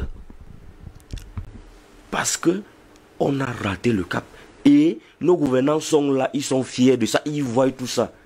Eux, ceux qui sont là, et ce qui les intéresse, c'est de manger, c'est de voir comment on va un peu toucher dans les fonds. Voilà, voilà une pandémie. Voilà une pandémie qui rase le monde. Merci, Quelle est l'information que nous avons? On n'a pas une bonne information. Steve, si, si tu me permets, tu me permets de réagir juste en 5 minutes, juste en 2 minutes, 2 minutes, 2 minutes. Bon, Oui, il pas encore fini. hein, je, voulais, Oui, je, je- je- je coupe pas, je coupe pas. Euh, je voulais juste te dire une chose en, en disant que les chaînes télé proposent du contenu. Ça, il faut le dire. Nous sommes aujourd'hui en train de proposer un contenu qui est, qui est somme toute euh, très, très, très, très utile. Mais si vous regardez à peu près l'intéressement de la jeunesse euh, d'un côté, par rapport peut-être en fait par rapport à euh, euh, au contenu au contenu somme toute noble que certaines chaînes comme DBS comme peut-être euh, vos voisins proposent peut-être c'est en fait certaines thématiques du soir qui sont assez qui sont assez qui sont assez du moins ça fait qui éduquent qui éduquent un certain nombre de peuples. Vous allez vous rendre compte que les, les jeunes du moins se suivent plus la, discré- en fait, La distraction. la distraction que ces thématiques là de deux pour, pour chuter encore sur ce point là c'est pour dire que je dirais encore une chose, c'est que ça, en réalité, c'est une réelle volonté politique, réelle volonté politique de laisser un peu, à peu près les jeunes, donc du moins ceux, aller, aller vers, euh, vers la soulardise. Vers la souladise. Parce qu'en fait c'est parce que comme euh, comme mon euh, comme mon le disait et mon camarade en fait comme euh, comme, euh, comme il le disait c'est que justement ces jeunes là dès lors où ils ont bu et c'est là où je prenais parce que je ne défendais pas la bière. Je ne défends pas la bière. Je suis même contre ceux qui pensent qu'en l'œil s'il faut du moins se réduire la bière. Mais je disais que sous d'autres cieux on trouve à peu près un on trouve en fait un contrepoids à la bière ce qui veut dire que Mais vous savez quand même qu'en longueur de journée, les gens boivent la bière aussi. Oui, en bien longueur sûr. de journée, on sûr. vend pas- vous on allez trouver des gens le le bain, matin. bien sûr Ils sont là, vous êtes dans le travail à 4h du matin, ils sont au bar. Ils sont au bas. je vais vous Si faire vous rentrez aux alentours de 18h, vous les retrouverez au même endroit.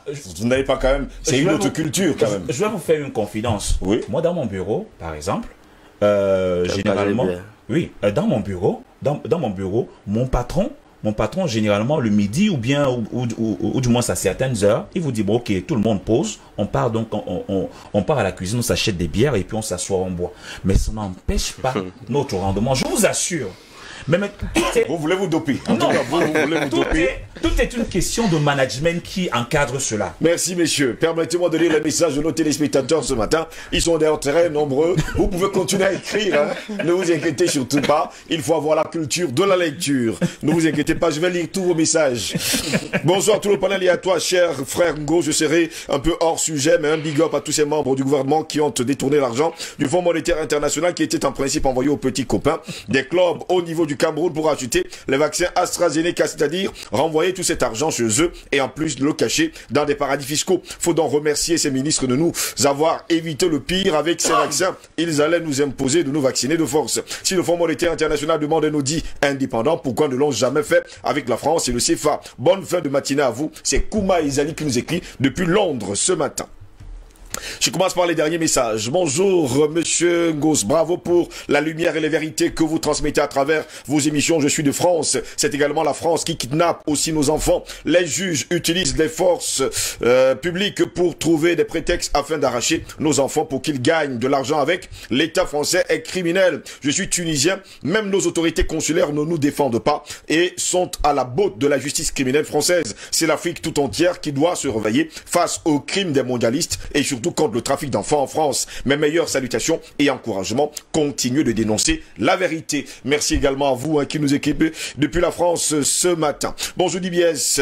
Une grande surprise ce matin. Je viens aux informations. Il s'agit de quel souci Nous ne suivons pas l'émission ce matin. Bonne journée à vous. Je suis Monsieur Ntoné Ernest Charles, un fidèle téléspectateur. Nous sommes malades ce matin. Bonjour Conrad. Je suis en train d'aller au centre de santé avec euh, François et elle va mieux, plus mieux ce matin. Elle y va pour prendre la sa glycémie. Là, c'était pas notre message. hein. Vous avez confondu. J'espère seulement vous nous avez pas dit dans quel quartier ou encore dans quelle ville vous êtes et vous n'avez pas d'IBS et sûrement vous êtes très malade ce matin. Je comprends parfaitement.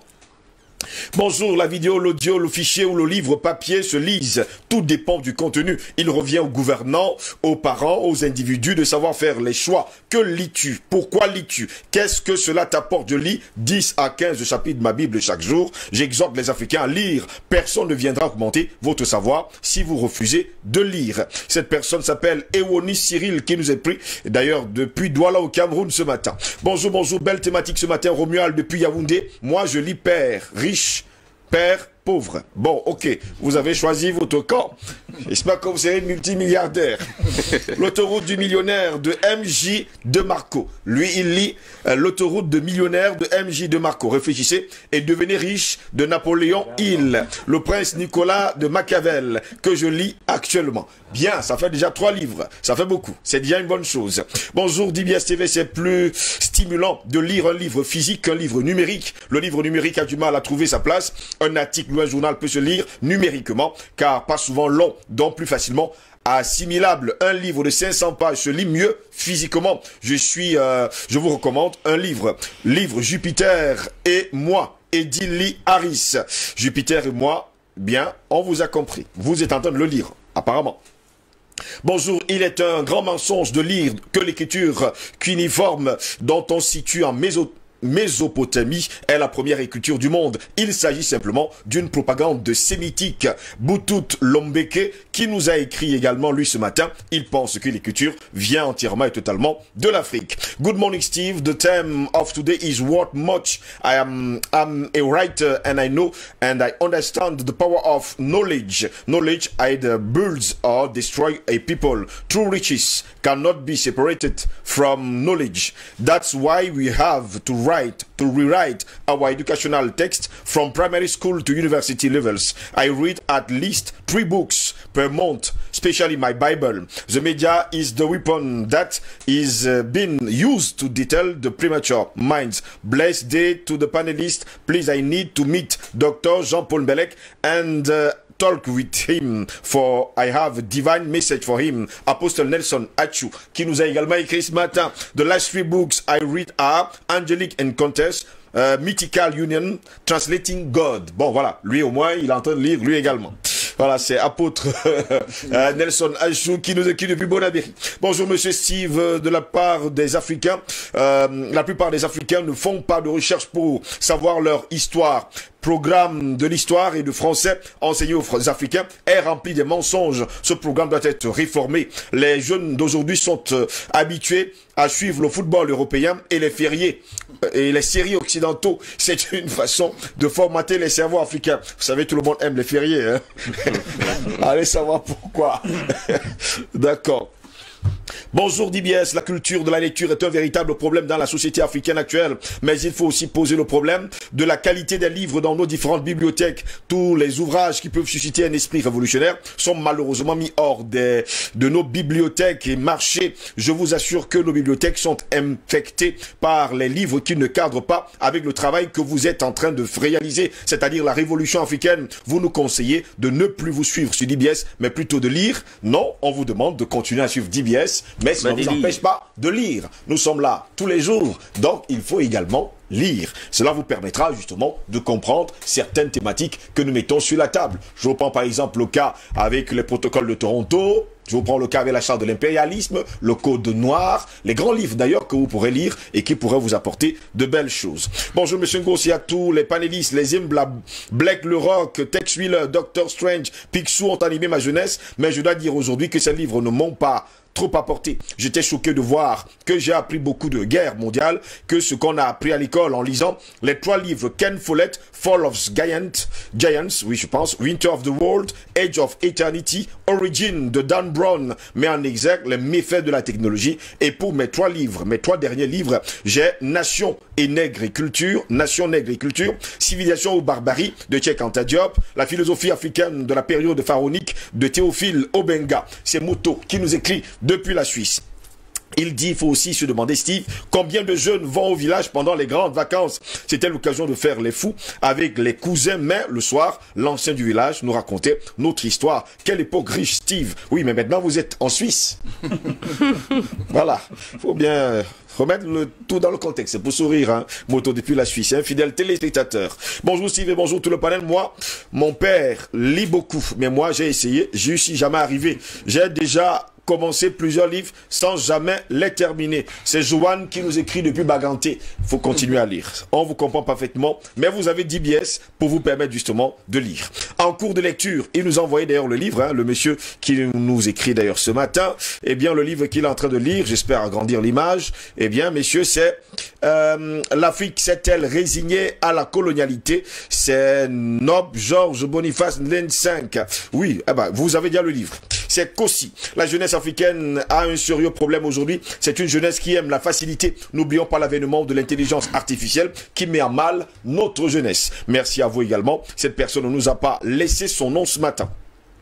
Bonjour à tous les panélistes sur le plateau. J'ai lu euh, 100% la 13e tribu d'Israël, l'Empire Khazar, les faux juifs, la CIA et la société virile, euh, la théorie des Cantas. Je m'intéresse beaucoup plus à la politique, l'histoire, les sciences mathématiques et physiques, les religions. La plupart de mes livres sont numériques et non physiques. Je les télécharge sur Internet. C'est Bayan, le patriote, qui nous a également écrit ce matin. Bonjour Steve, il y tout le panel. Moi, je ne suis pas d'accord avec le SMS que vous venez de lire, car en termes de boissons, on dépense beaucoup. Ces mêmes gens qui vous parlent de moyens sont ceux qui donnent des tournées dans nos bars. Donc, c'est pas trop un problème, les moyens de moyens. Emmanuel de Bonaberry, vous avez donc compris que ce n'est pas un problème de moyens.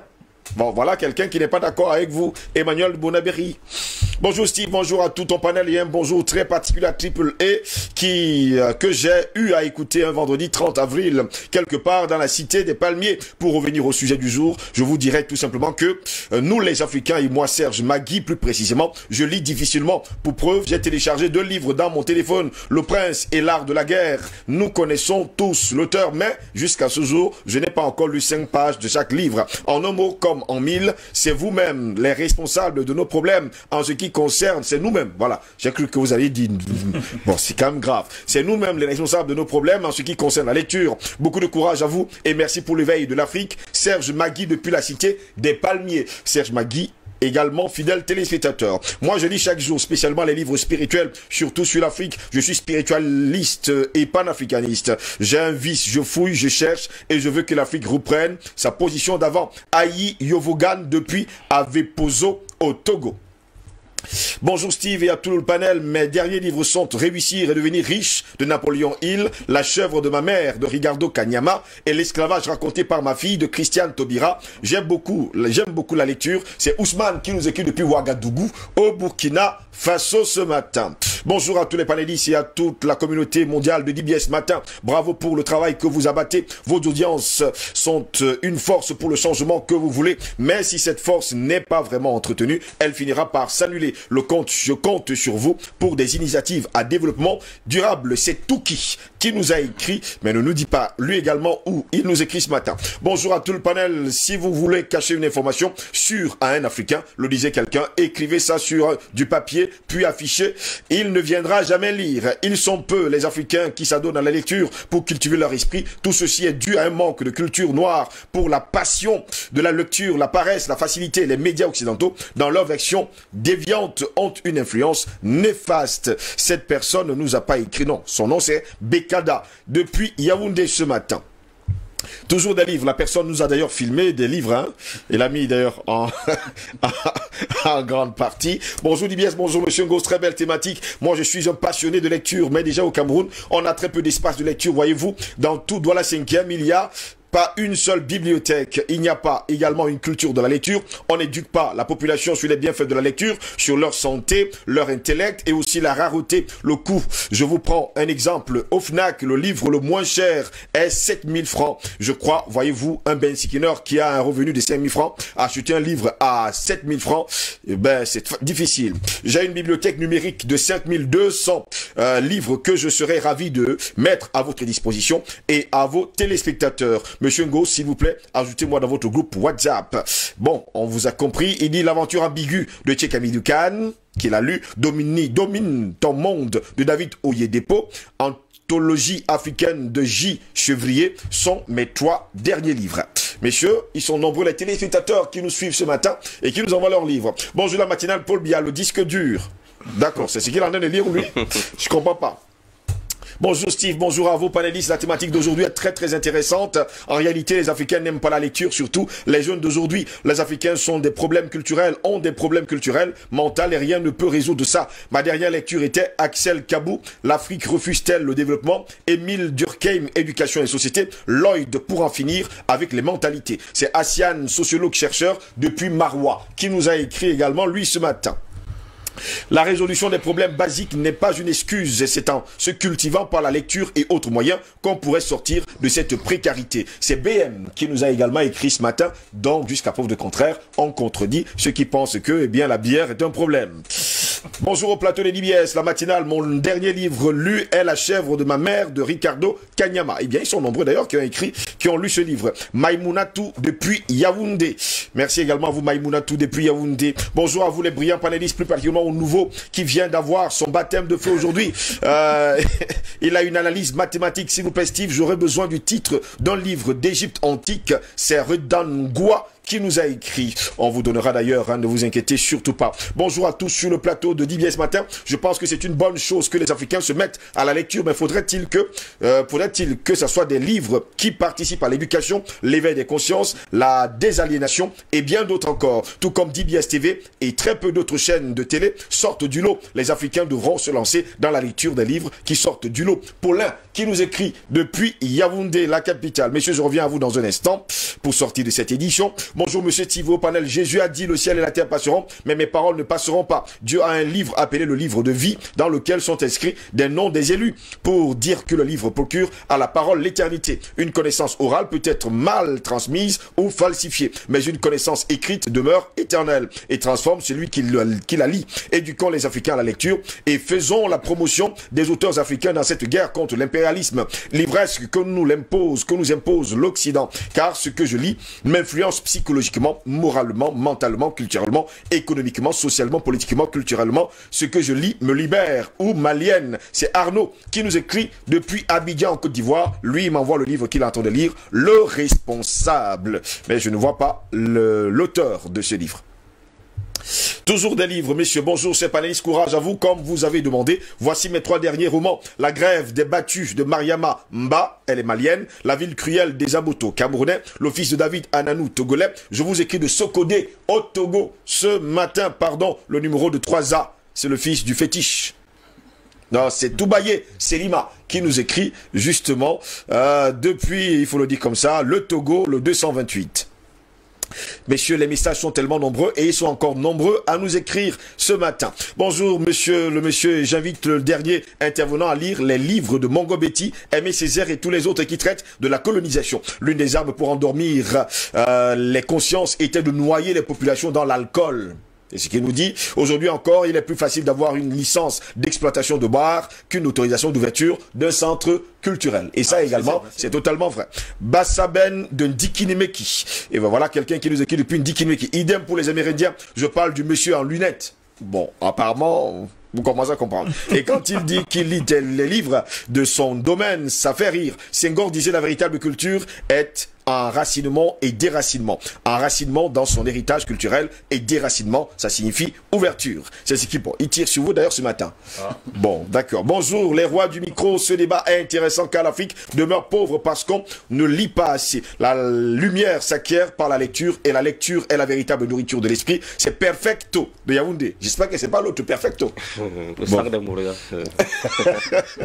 la lecture est fondamentale pour le développement d'un peuple. Si nos États devront partager les lectures et surtout les lacunes pour mettre en place des politiques de bonne gouvernance de base de nos NTIC. Il faudrait mettre en place des migrations puisque la télé et Internet ont beaucoup changé notre quotidien. Dans notre vie au Cameroun, mettre en place une bonne gouvernance pratique qui nous permette de pouvoir évoluer puisque nous entrons dans la sphère publique de l'évolution de notre pays. Dans les années passées, nous avions lu Kaku, euh, Kwaku, autant pour moi, Black le Rock, Zembla, Rodeo, en plus beaucoup d'auteurs Bernard Bédadier, Olympe Bellikenum, Mongobeti, euh, combien nos auteurs sont dans les programmes scolaires aujourd'hui, Stéphane Fouegap qui nous écrit depuis Douala au Cameroun. Oui, vous avez raison de le dire. Hein. Combien d'auteurs au programme aujourd'hui? Pas beaucoup. L'alcool est un moyen de gestion des populations. Comment on gère tous les chômeurs sans laisser s'installer un certain nombre de distractions? Les femmes prient, les hommes boivent. Eh bien, la vie est dure en Afrique et l'éducation scolaire qu'on reçoit à l'école ne nous sépare pas en termes d'attitude et de mindset à affronter tous les défis qui poussent certains vers les distractions. La perte de vitesse de d'initiation traditionnelle, qui est une école de la vie, n'aide pas à avoir des, euh, bien, des hommes les plus rationnels possibles. Merci également à vous qui nous avez écrit quand on lit les livres qui nous, ne nous parlent pas, eh bien, on finit par se lasser. Mettez dans les programmes scolaires et académiques les livres qui suscitent de l'intérêt et vous serez surpris. 25 mai 1955, massacre de Missa, lu ce matin dans le groupe DBS. Merci à vous également qui nous avez écrit. Cette personne a effacer les messages. Bonjour vous sur le panel. Le dernier livre que j'ai lu, c'est Essai sur la problématique philosophique dans l'Afrique actuelle de Martien Towa. Je crois qu'on doit donner plus d'accès aux livres et ouvrages car c'est pas légion d'en trouver aisément. Ça devrait Ça devrait être vulgaire. À mon sens, c'est Edgar Kenfak qui nous écrit depuis Bonaberry ce matin. Quelqu'un qui nous a un voice, on n'en veut pas. Euh, Quelqu'un d'autre qui nous a envoyé également des images, non. Euh, Ajoutez-moi dans votre groupe WhatsApp, c'est Salifundere, non. Euh, Laurent qui nous a également écrit et également, euh, voilà, vous êtes nombreux. L'auteur, c'est Alfred Quen, d'accord. Notre ami Arnaud depuis Abidjan revient avec le responsable. C'est le livre. C'est l'auteur de, l'auteur est Alfred Quen ce matin. Déstabilisation en cours au Mali, Alassane Ouattara à la manœuvre. Bon, d'accord. On vous a compris, vous également. Terminons rapidement. Bonjour, je lis actuellement Machiavel, comment devenir un fin stratège? Merci pour tout ce que vous faites pour l'Afrique. S'il vous plaît, ajoutez-moi dans le groupe WhatsApp de DBS. Moubarak depuis Yaoundé. Bonjour DBS, vous avez choisi un très bon thème ce matin depuis Kwaku qui a aiguisé notre appétit de la lecture. Il a fallu beaucoup de sacrifices pour qu'enfin des panafricanistes réalisent et produisent un magazine panafricain pour l'éveil des consciences et la promotion de la culture africaine, des us et coutumes africaines et d'un idéal africain. Le magazine Balater est paru depuis sept jours pour le bonheur de nos enfants et surtout des adolescents. Je prends un dernier message, monsieur, parce qu'il y en a tellement. Bonjour DBS, je vous salue tous. Désolé, je ne suis pas sûr du titre de cette journée, mais ce que je vais dire, c'est que nous devons vraiment nous éduquer. Cette nouvelle génération fait peur. Elle est très dangereuse parce qu'elle ne sait pas euh, ce qui est bon ou pas. J'ai peur de ce qui se passera après Paul Biya. Nous devons vraiment faire attention aux informations que nous donnons aux jeunes. Le livre que je lis maintenant est Message, Message to the Black Man par Elijah Mohamed. Que Dieu bénisse le Cameroun, que Dieu bénisse l'Afrique. C'est monsieur Antoine Roland depuis Béja qui nous a écrit également ce matin. Béja, je pense que c'est en Tunisie. Messieurs, plus que quelques secondes pour sortir, je vous dis merci. Albert Anatola, ici, a également un autre problème qui va se poser. Il n'y a plus de livres, il faut le dire, africains au programme. Je prends par exemple le cas de Seydou Badian sous l'orage, qui faisait d'ailleurs le plaisir de tous les élèves de 5e. On avait Aimé Césaire route au pays, au pays natal du côté de la terminale. Trois prétendants, un mari. D'ailleurs, l'auteur est mort il y a quelques jours. C'était en, en quatrième, je pense, ou en troisième. Et là, on a l'impression aujourd'hui que les auteurs africains manquent à l'appel et surtout les vrais auteurs parce qu'on a l'impression aujourd'hui que les auteurs qui sont parfois au programme eh ben, c'est des nouveaux auteurs mais qui jouent à pile ou face avec le gouvernement. Non, le véritable problème c'est que c'est deux, euh, la problématique que vous soulevez pose trois problèmes. Oui. Un, la mafia du livre. Oui. Il y en a. Justement, il y a la mafia du livre. C'est-à-dire que pour que votre euh, œuvre soit au programme scolaire, il faut donner l'argent à la, à, la, commission qui a la charge de l'agrément. Les agréments par rapport, n'est-ce pas, aux livres qui doivent être inscrits au programme scolaire. Le second problème, c'est quoi? C'est que nous sommes encore, nous avons un, système éducatif qui est encore euh, euh, qui est sur, le système impérialiste. N'oubliez pas que notre système éducatif est, est décidé depuis Paris. Donc, ce qui fait qu'ils ont enlevé au programme, ils ont fait pression sur le gouvernement, notamment l'espace africain, pour enlever les, les, les, les œuvres qui avaient une vocation révolutionnaire. Ouais. Lorsque vous lisez par exemple Esabou de Victor, on a enlevé. On a enlevé le pain noir parce qu'il s'agit là, euh, une vie de boy. Par exemple, on a enlevé tout ça parce que euh, il s'agit des, des, des, des, ouvrages qui posent les problèmes euh, authentiques de l'Afrique. C'est-à-dire qui amènent, qui peuvent, qui porter une certaine révolution culturelle, intellectuelle. Euh, le troisième problème qu'il faut évoquer, c'est quoi? C'est que nous avons justement un problème avec nos, nos dirigeants. C'est-à-dire qu'aujourd'hui, on devrait, à mon sens, dans le contexte africain, privilégier les livres, les ouvrages qui sont le fait des, des, auteurs africains. Malheureusement, ce n'est pas le cas. Pourquoi? Parce qu'il est question de pervertir justement notre, notre système éducatif, notre façon de comprendre, notre, notre, perception des choses. Je termine par deux, par deux choses. Rapidement, le temps nous est imparti. Nous avons, au-delà du livre, parce que le livre, c'est une arme. pour revenir à la thématique, c'est une arme. Parce que il a fallu comme certaines thématiques dans le cadre de nos débats matinaux pour que les Africains comprennent qu'en réalité, les Africains, ont un problème, et ce problème, ça vient d'ailleurs et non dans le contexte africain, en dehors des problèmes de gouvernance. Le second problème pour passer par là, il faut, il faut euh, relever le niveau d'alphabétisation parce qu'on ne peut pas être un lecteur si on est analphabète. Merci beaucoup Albert Anatola ici d'avoir été là ce matin. Je dirais justement à nos téléspectateurs de ne pas rater le mandat de Semben Ousmane. Faut pas également rater Tchikamidou l'aventure en Bigu. Badian sous l'orage suivi de la mort de Chaka. Ils sont d'ailleurs très nombreux, frappés dans la C'était des révolutionnaires. C'était de bons ouvrages d'ailleurs. Merci à vous également, Véniné, Vianney, quel on avait été là ce matin? Oh oui, euh, merci à vous de m'avoir invité, mais je vais préciser ma pensée avant de sortir de cette émission aussi. Il faut que les, il faut que les téléspectateurs sachent que je ne, je n'encourage pas. Non, ils n'ont pas dit ça. Ne vous inquiétez surtout pas. Mais maintenant, je suis de ceux qui pensent que il faut qu'on mette en place donc des politiques qui permettent à peu près de créer des comptes poids parce qu'on ne va pas, on ne peut pas empêcher euh, des gens d'aller boire. La boisson n'est pas mauvaise, mais pas c'est l'excès qui nuit. C'est l'excès qui nuit. Merci. Maintenant, on tombe, on, on- on tombe dans l'excès parce qu'on n'a pas un contrepoids, on n'a pas donc euh, un certain nombre d'occupations qui nous permettent à peu près de, après avoir bu, de penser et de ne même pas vouloir aller boire. Merci. C'est Ben Ousmane, Le Mandat. C'est un livre que vous devrez justement lire encore et encore pour voir jusqu'où allait justement cette bizarrerie d'avoir un mandat. ah bah, c'était un mandat. Un mandat lettre à l'époque. Merci à vous également, Mayeng et Fabrice, d'avoir été là ce matin. Oui, merci Steve. Euh, On vous a fait un coup de chapeau, hein. Oui, Vous recevez votre baptême de feu. Bon, c'est normal, c'est une première. Bon, je vais m'adapter avec le, le avec le temps. avec le temps. Bon, mon mot de fin, je vais recommander aux Africains de beaucoup lire, Oui. de savoir lire et de lire ce qui est bon. Et de lire ce qui est bon. Merci, messieurs. Le constat est là, plausible. Dans beaucoup de familles, le livre et la lecture font partie du décor.